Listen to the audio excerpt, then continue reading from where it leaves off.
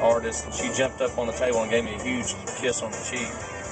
I don't know, still don't know why why she did it, but that was, a, I mean, that was a big deal for a 19 year old kid, or however old I was. And, uh, but as, as, an artist, would be uh, that very first fan club party after, uh, you know, Austin was my first single, and after that came out and, and was a hit. Uh, to uh, go from 15 people the year before to uh, I think we rented the Hard Rock Cafe, and, and you couldn't fit another person in there to, to see that difference, the power of a song. That was, that was a big moment for me.